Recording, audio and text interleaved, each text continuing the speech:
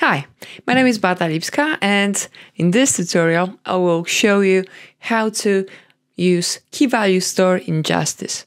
And Jstz is a prototype of Smart Rollup based on JavaScript runtime and you will learn how to compile and use the local sandbox to test out all the smart functions that we're gonna write in our files and yeah then we're gonna use them as a regular smart contracts. So yeah let's jump straight in.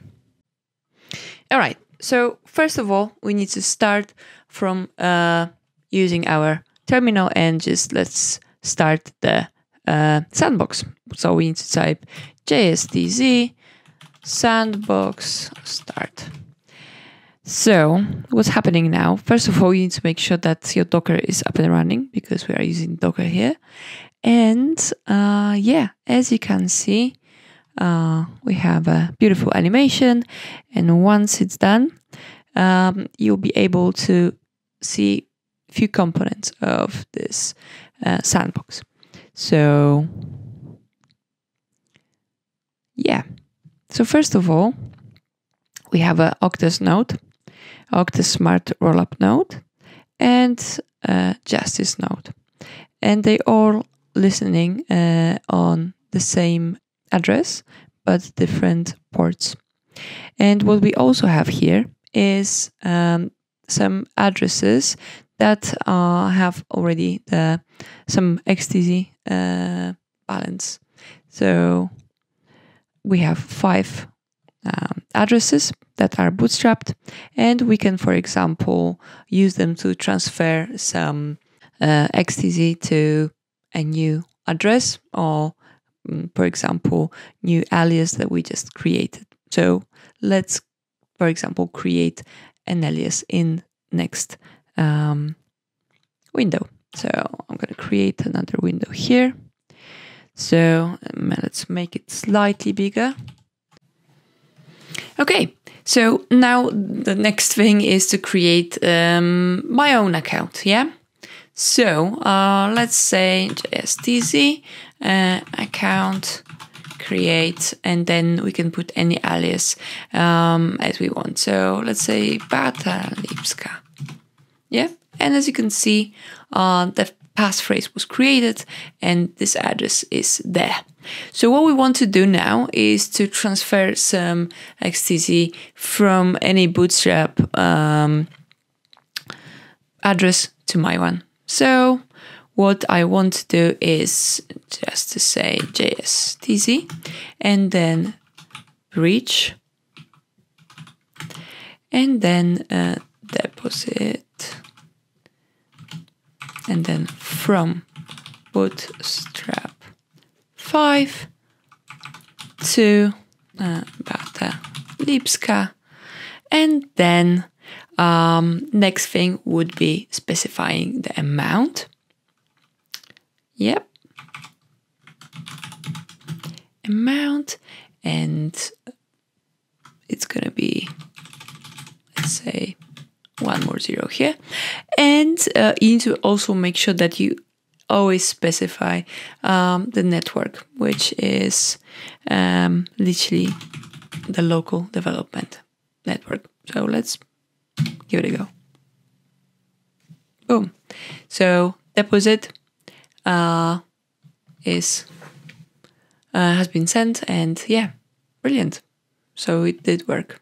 So next thing, we need to open our um, favorite IDE. And uh, let's run through the smart function that I wrote previously uh, to show you how um, we're gonna deploy it and how we're gonna run it. So yeah, let's literally go to our uh, to our examples. Yeah, maybe let's do it like this code. So let's have a look at our example. Uh, let's give it a go. And uh, we have the URL shortener um, here. Let's check out what's inside the index.ts. So we have like um, very simple utility um, function to generate a shortcode. Then we will store that shortcode um, in our uh, key value store. And yeah, what we're gonna do, we're gonna uh, just provide a very long URL and then replace it with a shortcode that was generated here. Um, and yeah, we will ask the key value store about the shortcode and it will bring up the long uh, URL. And if it's not found, then we're gonna return 404, which is specified here.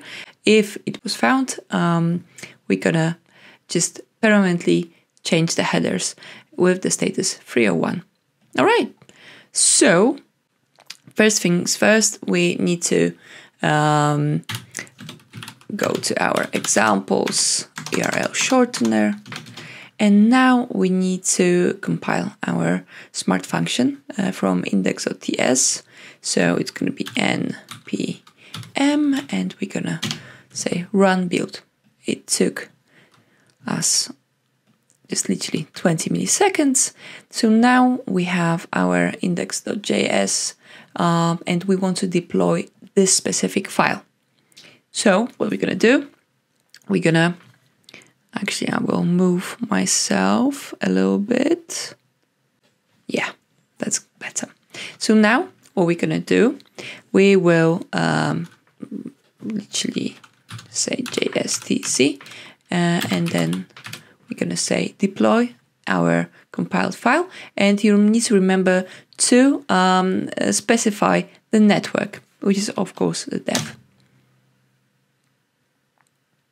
All right, so now as you can see this is the address and um, that helper is showing us how to use uh, the smart function but we did specify our ways of using it. So we have the shortened endpoint and that we want to use to make uh, our long URL short. So, okay, so to make a good use of this, uh, we need to, of course, run jstz run and then use this one from here. Uh, but then we will need to use the shorten uh, endpoint and we need to provide some data. So I already prepared the data. So the original URL will be uh, beata.com um, and then we will specify the network, of course, and this is the request that will post the data. So um, yeah, let's give it a go. What will happen here? So as you can see, we run uh, the smart function with the shorten endpoint. So now we have the status code of 200, which is okay. And uh, to call beata.com, we will need to use this specific um, address. So what we're going to do now is jstz run, but you also need to remember to specify the local uh, development and then we'll see what will happen. And now as you can see that the status code is 301 and that means that um, the headers were moved uh, to a new location. That was my original URL. Okay, so that's it for that video. All the links with the code are in the description down below. So make sure that you check out our Jstz repo. Feel free to contribute, it's open source. And yeah, see you in the next one. Bye.